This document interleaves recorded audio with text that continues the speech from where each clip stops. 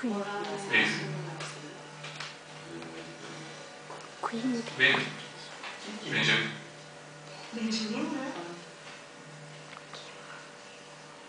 Ah, aman tanrım. Tabii ki sensin. Benjamin. Nasılsın Benjamin?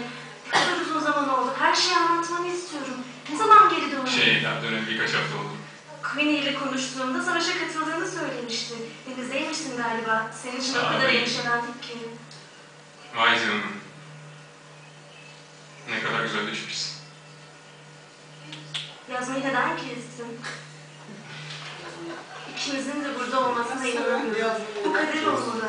Aa, hayır hayır. Ne diyorlardı ona? Kısmet. Edward Casey'i biliyor musun? Tanıdığımı sanmıyorum. Ona göre her şey önceden yazılmıştır. Ama ben buna kader demeyi seviyorum.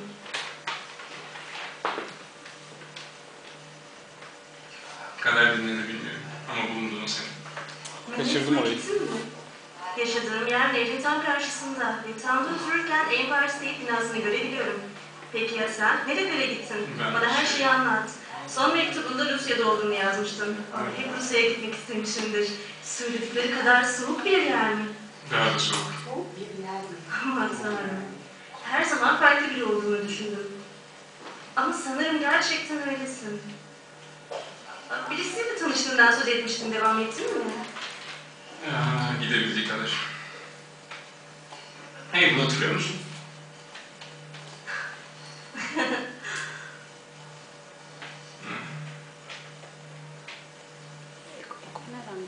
Evet aferin.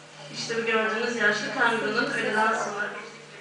Peki orijinali e, almaya çalıştıkça bu şey. Çıkmak ister misin? Görüntüde orijinal de duyuluyor.